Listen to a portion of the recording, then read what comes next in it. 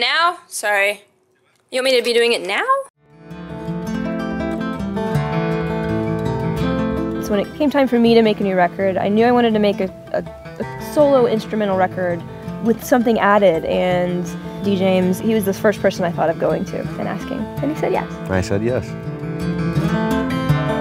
We are in uh, Woodstock, New York, and this is the Isokon, uh, D. James's studio behind us, where I've made my new record.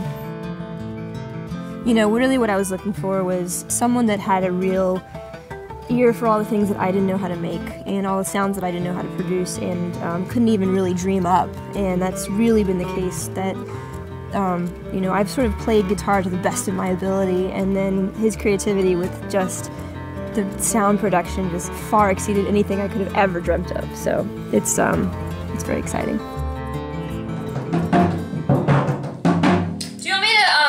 The drums?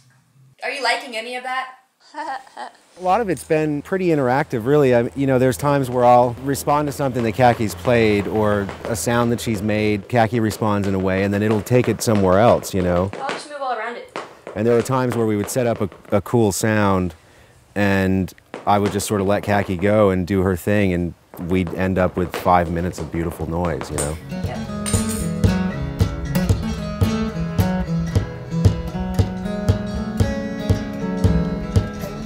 There is a you know foot box that I was using just to, as a bass drum sound, and I wrote a small piece of music, and um, so it, it, had this backbeat, this sort of just this this tiny little, almost like a pillowy sound, and a guitar part, and that's really all it was. And from that, you know, it, it sort of inspired.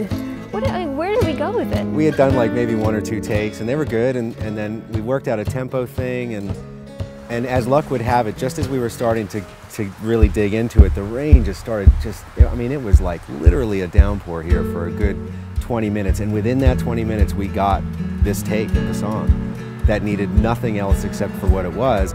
I mean, that song sort of encapsulates the whole making of, of the record, I think, for me.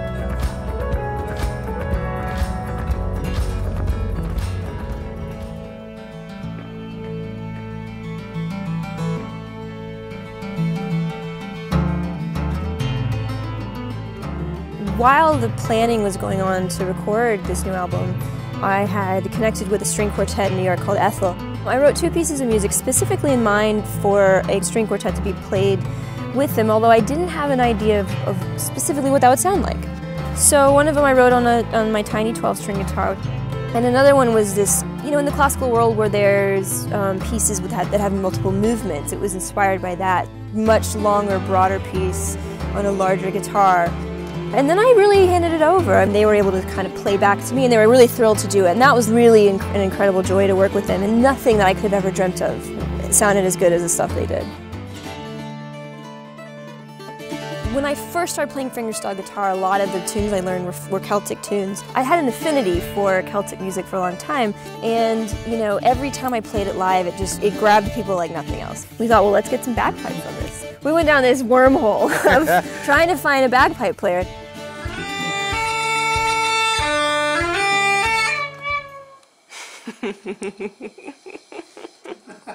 Say hey, Richmond. Hey. we found Richmond. Richmond. Who is a local. So he brought this Scottish small pipe. So that was this really cool thing for me. You know, that's just, that's one instrument you never think you're gonna really get to work with. Yeah. And then he's, the right song turns up and you do. They're all written as just guitar songs, and none of them were written with the mind of, of having anything added. It's been actually a joy to play guitar songs and then lay things over them, underneath them, that actually don't interfere. We had some percussion, we had, we had some toms that were recorded, and I brought my shaker collection, which no one knows that I'm you know, master shaker player. Can you hear from there something? Shakers have become this thing that I get to collect because they're tiny. In seriousness, the record wouldn't sound how it does without those shakers. a lot of shakers were played. Tiny baby Mike. And, you know, I've played steel guitars and, and slide guitars for a long time, and so it's always nice to, to get that in. There's an instrument called the harpejji, which is great because you can get any, it's almost like a keyboard it's a guitar setup that looks like a well actually it's a keyboard setup that looks like a guitar like well i'm not quite of. sure well you can get any you, instead of a guitar you're sort of limited to the, the specific notes that you can get in the frets you can get any note that you want and you just press it and with, with feedback it just goes Ree! and so we got some of that and that was fabulous Yeah.